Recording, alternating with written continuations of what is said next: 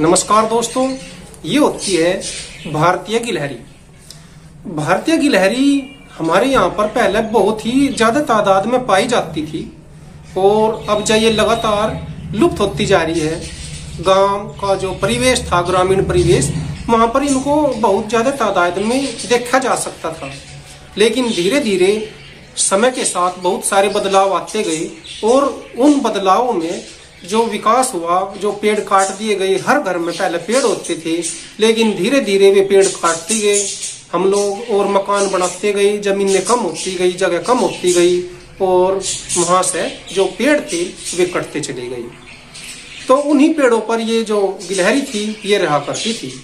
जब पेड़ समाप्त हुए तो इनके जीवन पर भी संकट आने शुरू हो गई क्योंकि ये अपनी जान बचाने के लिए पेड़ियों को जो पेड़ होते थे, उनका आसरा लिया करती थी।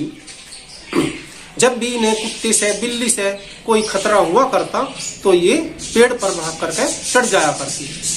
लेकिन जब पेड़ कटते गए और पेड़ खत्म होते गए, इनका जो स्थान था, उसमें एक तरह से इनके लिए बिल्कुल ही वो अलग हो गया, परिवर्तन आ गया, और अक्सर ये शिकार होने लगे। इनका लगातार जो संख्या थी वो घटने लगी। कुत्ते और बिल्लियों के हाथों ये अपनी जान गंवाते चले गए। तो दोस्तों, हमें एक पहल करनी चाहिए और कोशिश करनी चाहिए, कम से कम जगह में भी जो छोटे मोटे पेड़ है, सजावट के ही सही या छोटी बिल्ली हैं, वे ज़रूर लगानी चाहिए। क्योंकि यदि हम लगाएँगे, पेड़ होंगे हमारे वातावरण में, घरों में, आसपास या जो छोटी बेले हैं, वे भी होंगी।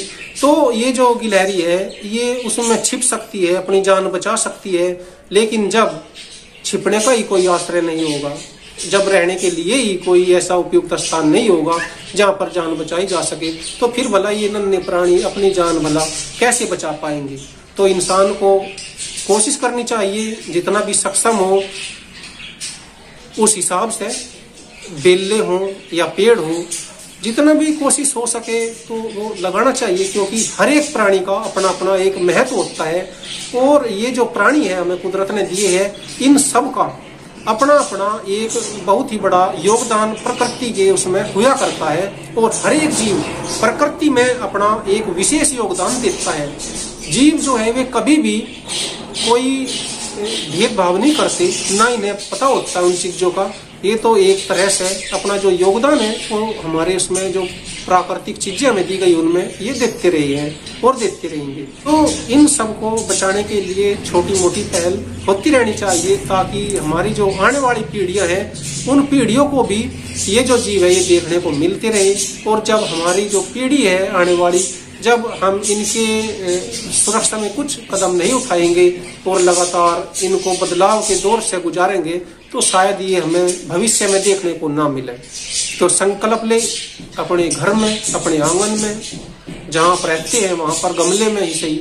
यदि जगह हो तो जगह में सही, कोई भी छोटा मोटा पेड़ ज़रूर लगाए, चाहे बेल लगाई लेकिन लगाए ज़रूर दोस्तों।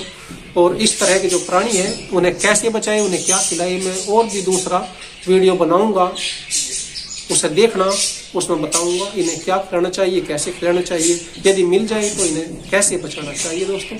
ये प्रकृति का एक उपहार है हमारे लिए। बहुत ही शानदार जीव होते हैं। हर एक जीव की अपनी खासियत होती है दोस्तों। नमस्कार।